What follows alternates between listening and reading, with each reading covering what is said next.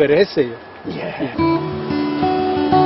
어린 시절 우리 기억 속에 있는 호박은 공처럼 둥근 조선 호박입니다.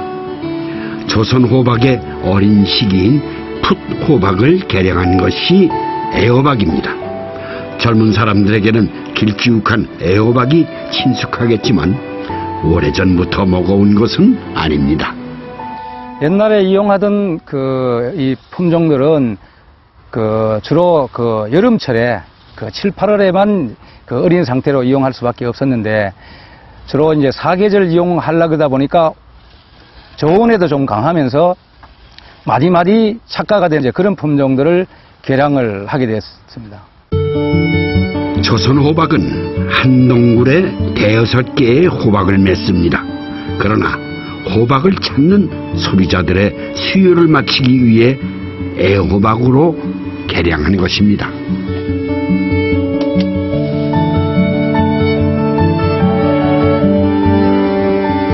꽃이 핀다고 다 호박이 맺히는 건 아닙니다. 보시는 것처럼 호박은 암꽃에서만 얻을 수 있죠. 숫꽃과 덩굴을 따주어야 애호박이 잘 맺힙니다. 노지나 담장에서 키울 때랑은 차원이 다르게 품을 들여야 하죠.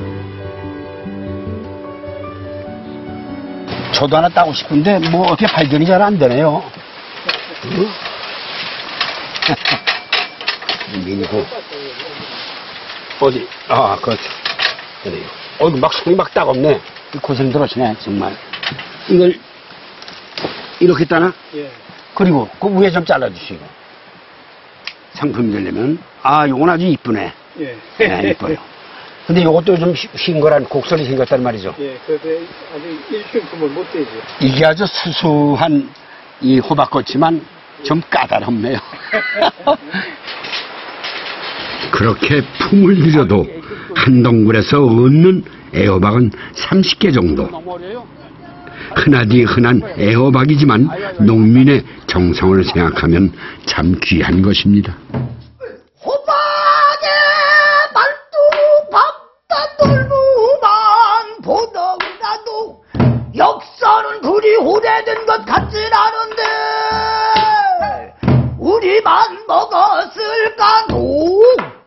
아니지. 이 아이들 진짜 제가 서양에 거친 거를 우리가 먹는 해호박은 저그 저 중앙 아메리카가 고향이고 외호박이란 단호박은 1920년에 일본이 가져온 서양계 호박이고 돼지 호박이라 부르던 주키니 호박은 1950년에 미국이 가져온 대폭의 호박이 분명하구나. 이런저런 호박의 종류가 30여 종이 되건만은 그 중에서도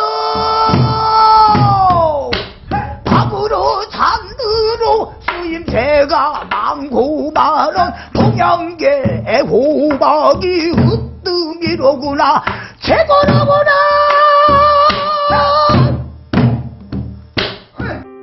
호박이 한국인의 밥상에 등장하게 된 것은 그리 오래된 일이 아닙니다.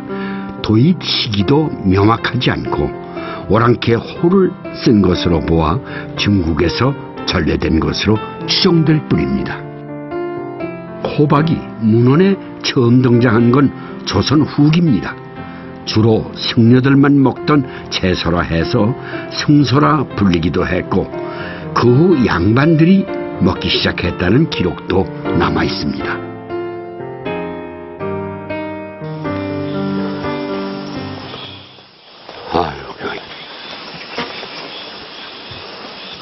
가지, 오이, 뭐 고추, 또 호박 이런 거는 다 전 세계가 다 먹는 식재료죠. 그런데요, 이 애호박만큼은 유독 한국만 먹는답니다.